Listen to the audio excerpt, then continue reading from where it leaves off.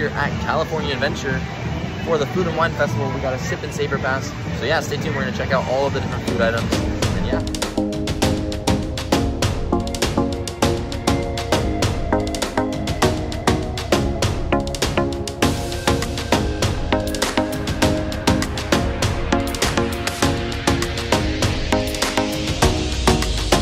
Our first stop here is gonna be Peppers Caliente.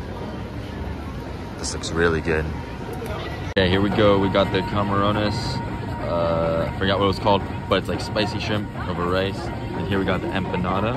These both look very good. Both really great. I think I liked the shrimp a little bit better. I like the empanada. I like the empanada better. They're both fantastic though. I highly recommend those. Those are really, really good.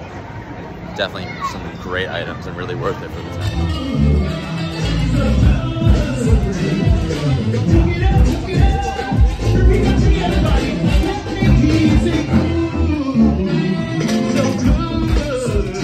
Up, we're gonna check out avocado time. Check it out. All right, here we go. Got the Impossible pork, or not pork, Impossible al pastor taco. Looks really good.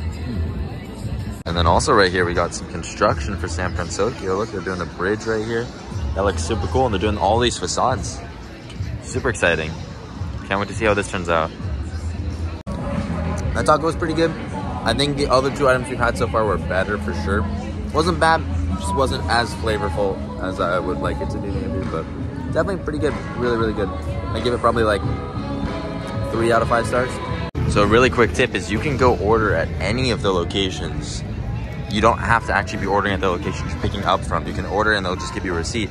You don't, because if some of them have like really long lines, like this place had a really long line for ordering, but not a long line for picking up the food. So we just went and ordered down to the location over there for right here, which is really nice.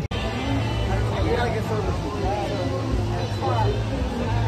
right, so here we got the Cubano slider from Delish and the carbonara mac and cheese from Garlic Kissed, I think. So yeah, these look, both look really good. All right, so I'd say they're both pretty good. Not our favorite items, but the carbonara mac and cheese gets a three out of 10 for me.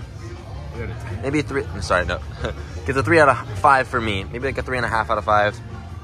The Cubano sandwich definitely gets like a four out of five. That was pretty good. That was one of my favorites. What do you think? Yeah, no, definitely. I think the empanada and the shrimp were better, but it's still pretty good. Oh yeah, both the empanada and the shrimp I would say were five out of five for sure.